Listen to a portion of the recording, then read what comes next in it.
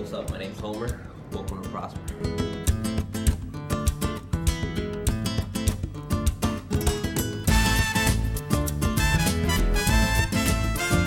They got all the coolest gear. They got all the newest stuff that comes out, all the SB, all the SBs, all the new shoes, like all the latest drops that come out. We always got them, so that's why I like coming here.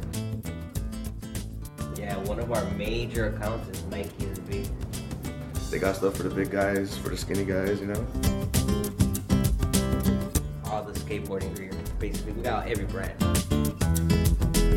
Anything you can think of, we got it. Located in Little Village, 2620 South Central Park.